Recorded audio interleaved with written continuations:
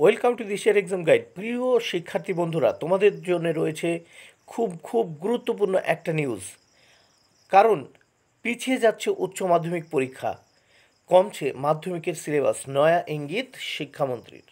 বন্ধুরা, তোমাদের জন্য রয়েছে অত্যন্ত গুরুত্বপূর্ণ খবর। কেননা, তোমাদের যে সময়ে মাধ্যমিক পরীক্ষা হয়, হয়তো সেই সময়েই মাধ্যমিক পরীক্ষা হবে, কিন্তু সিলেবাস হয়তো তোমাদের কমে যাবে। আর উচ্চ মাধ্যমিক পরীক্ষা কিন্তু যথাসময়ে হবে না, সেই পরীক্ষা কিন্তু পিছিয়ে যেতে চলেছে। এই সম্পর্কে রয়েছে শিক্ষামন্ত্রীর কিন্তু একটা ইঙ্গিত।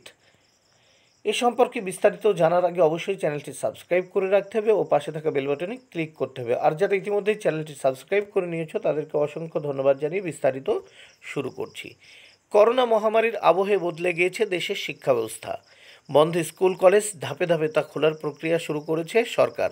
দীর্ঘ প্রায় ছমাস থমকে গিয়েছে পঠন পাঠন অনলাইন নির্ভর পঠন পাঠন চালু হলেও তা সর্বস্ত্র এখনও পৌঁছা এখনও পৌঁছায়নি। এবার করোনা পরিস্থিতির কথা মাথায় রেখে কেন্দ্রীয় বোর্ডের দেখানো পথে এবার হাঁটতে চলেছে রাজ্য।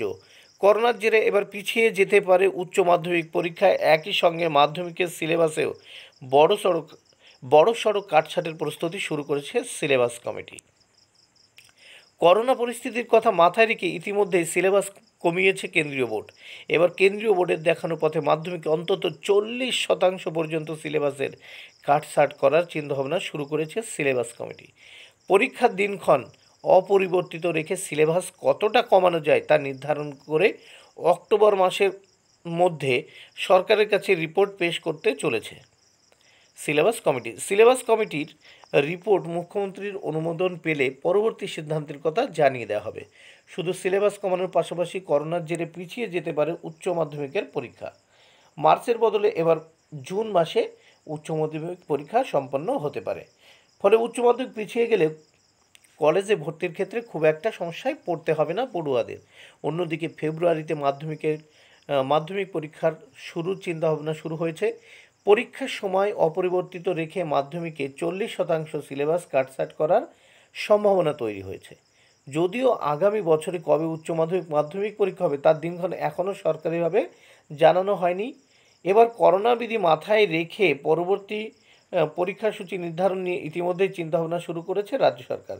কেননা আগামী বছর বিধানসভা নির্বাচন রয়েছে, ফলে সেদিকটিও ভাবতে হচ্ছে রাজ্যকে।